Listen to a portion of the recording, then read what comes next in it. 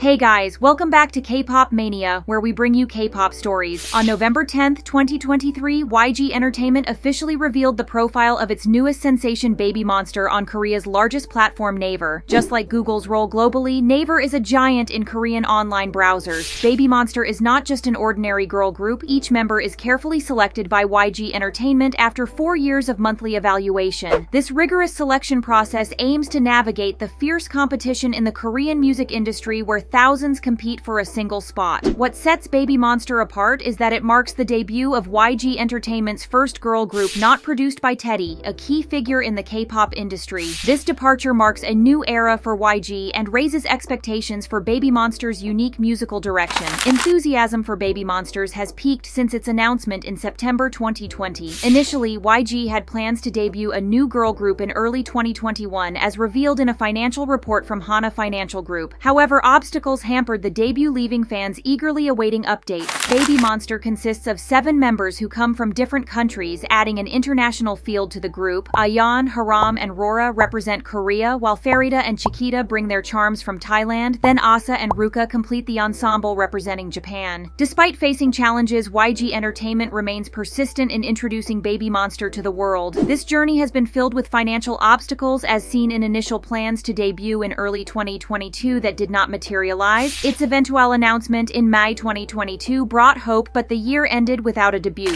So, wait for the thrilling adventure that Baby Monster will go on. And that's it. Did you enjoy today's video? If so, make sure you hit like and subscribe. Thanks for watching. Bye.